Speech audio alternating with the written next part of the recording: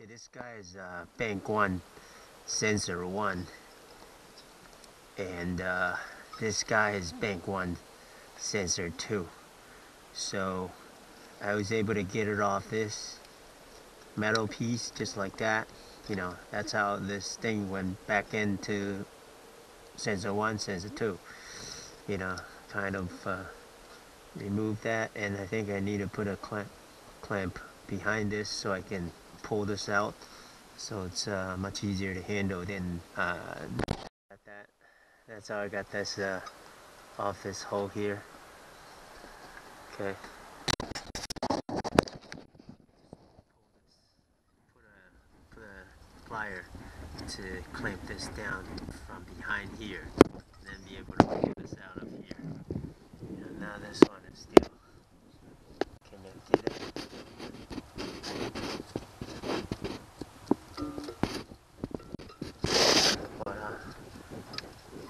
Gonna try to separate these two, this one and this one, by by squeezing this down harder and pull um, separate the two. So that's what I'm. Let me tell you what I. Okay, so this is what I did. This is my um, uh, Nissan Pathfinder. This is uh, the top one, which uh, um, was like this.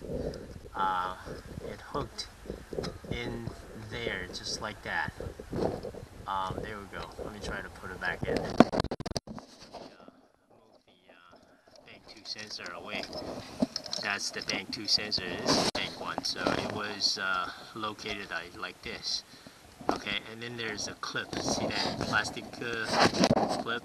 You know, I had to use my uh, flat screwdriver to push it down and then push it back in. But, you know, basically I undo this thing by push it down, push that down, and then pull pull forward to put pull, pull it out. And once I did that I moved this uh, bank one sensor one to the, the top one to the to the side so this way I can work on this uh, bank one sensor two uh, both of these are passenger sensor so the bank um, one sensor two actually is uh, locked into this uh, metal clip uh, right underneath the bank one uh, sensor one. So this is bank one sensor two and you can see this little thing I just pressed down and then it will go back in. But so what I did was I just pushed this clip downwards and then pull this um, totally out and with this uh, plug still connected it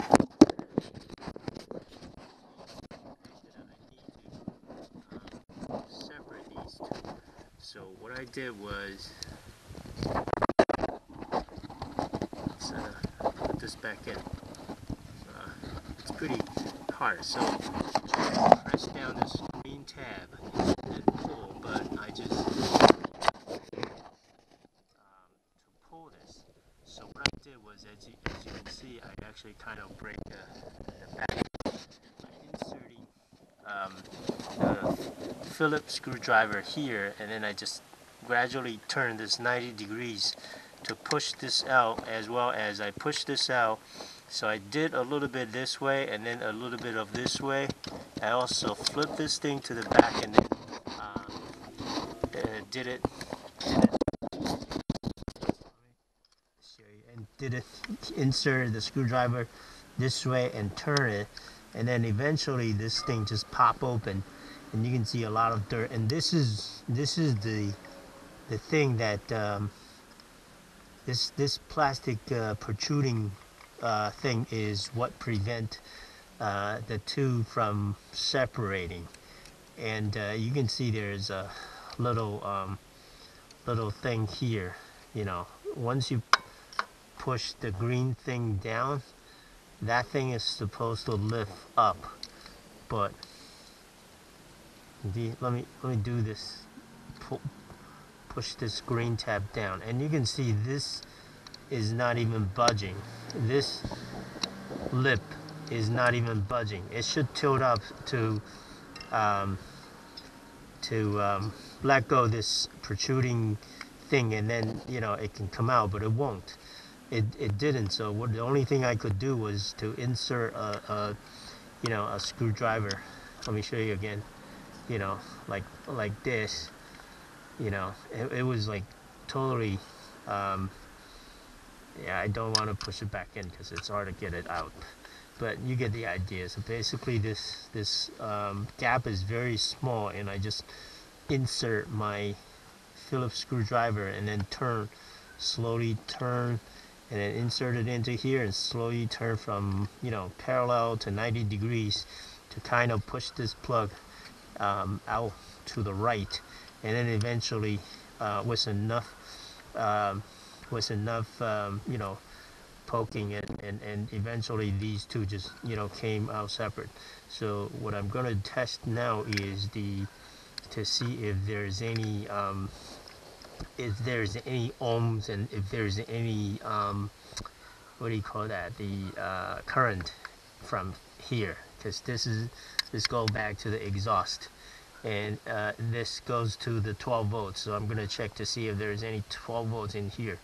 Um, yeah, and that's the bank one sensor one and I don't the, engine code is P0140 so it says it's bank one sensor two so which is that you know so I'm not gonna uh, worry anything about this part here. There is the protruding thing that prevents the two uh, from separating and there are four um, four um, connector uh, in there four males in there four females.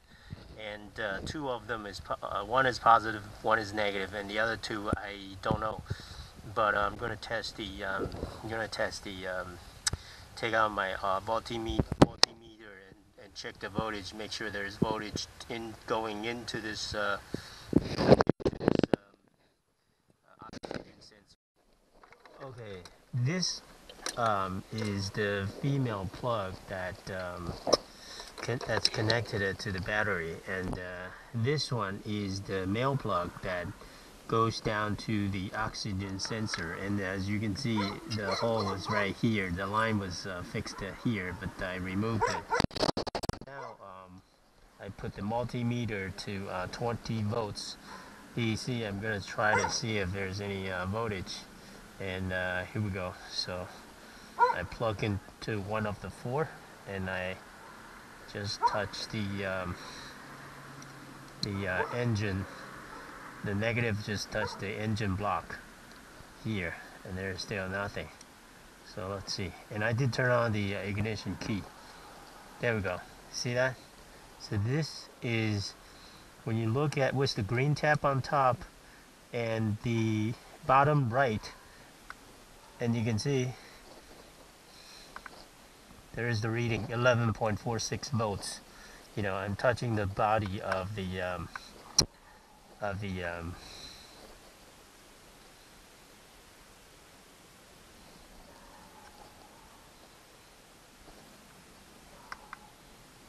there we go. Of the um, engine block. You can see there 11.47 volts you know so that tells me there is uh, voltage input. By the way the ignition key is on okay? So that tells me um, there is um, uh, voltage into the oxygen sensor.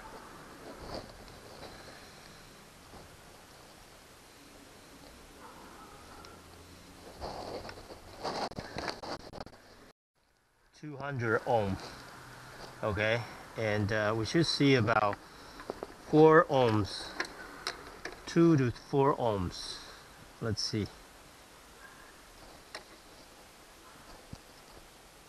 Nothing. Nothing. Wait. Thought I got something.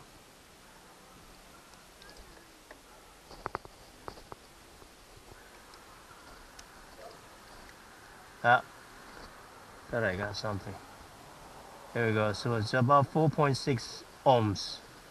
4.5 ohms when I connect these to uh, the diagonal. And this is the top. This is the top. And uh, I'm connecting the the uh, the diagonal. Um, so maybe it's two and three. So so so so, this is funny because in this case, that means this um, oxygen sensor is uh, working. It's not broken. See, 4.7, 4.6 ohms. That's interesting.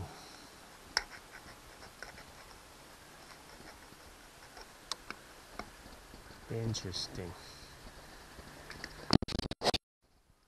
Now I'm continuity, so I turn my uh, multimeter from uh, 200 ohms to uh, continuity here, and I should be getting nothing from uh, from this uh, male plug, you know, from any terminal. I should be getting no current. Alright, that's no current. That's no current. That's no current. So, interestingly,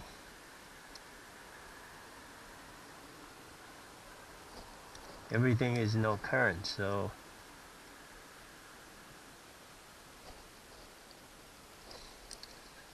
I don't think I don't think uh, my oxygen sensor bank 2 is broken. That's weird. You know, because uh, everything is working. It's interesting. Hmm.